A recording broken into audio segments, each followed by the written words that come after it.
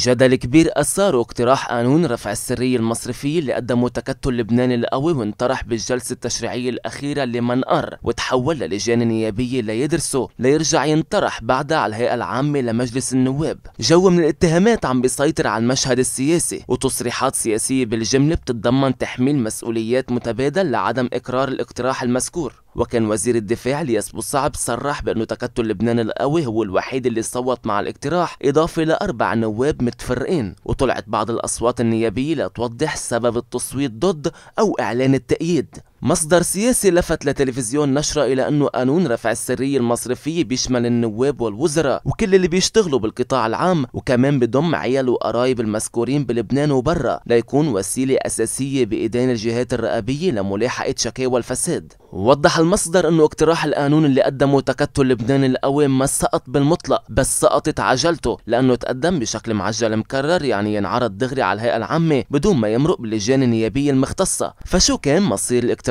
بقلب الجلسة التشريعية الأخيرة بحسب لبنان القوي. الاقتراح بحد ذاته ما سقط سقطت عنه صفة العجلة وبما أنه سقطت صفة العجلة تحول آه، إلى اللجان النيابية المختصة لتدرسه وترجع تحوله على الهيئة العامة بس تنتهي اللجان من دراسته. إحنا كنا نتمنى أنه يصوتوا على صفة العجلة لأنه هيدي مسألة ما تتحمل وقت وأكيد نحن بتكتلنا في وزير عدل حالي وفي وزير عدل سابق اطلعوا عليه ونقحوه ببعض المحلات وأكيد ما في هو خلل بحد ذاته ولكن ال ال يمكن الأفرقاء أو أكيد الأفرقاء اللي ما رايحة باتجاه رفع السرية المصرفية واللي ما عندها شفافية كافية آه، أكيد بدها تتحجج بوجود ثغرات أو ما شابه لحتى تبرر تصويتها ضد هالاقتراح هيدا.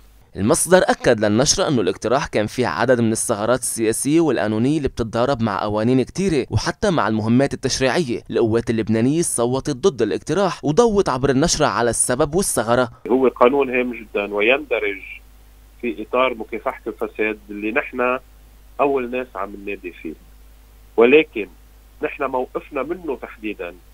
هو التالي هناك مشروع قانون معروض الآن على لجنة المال والموازنة بتعديل قانون الإسراء غير المشروع واللي فيه أحكام مترابطة مع الاقتراح اللي عم نحكي عنه اللي تقدم فيه تكتل لبنان القوي مؤخرا.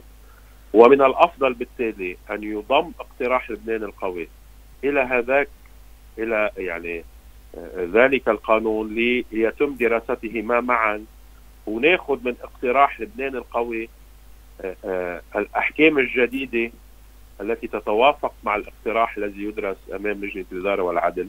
ما في شك إنه قانون رفع السرية المصرفية رح يفرض شفافية مش مسبوقة ورح يحط النقط على الحروف بكتير من قضايا الفساد وبالتالي أي عرقلة لهيك قانون بحط علامات استفهام بالخطوط العريضة حول الجهة المعرقلة والفترة الجاية كفيلة بكشف النوايا. محمد زهوي تلفزيون نشرة